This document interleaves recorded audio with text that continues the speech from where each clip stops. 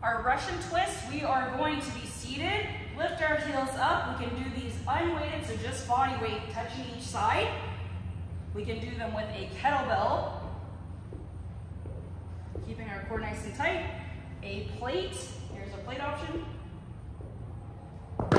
A slam ball, anything you basically have where we're going side to side. If this is difficult for us, we'll keep our feet on the ground. The same thing, twisting here in our Russian.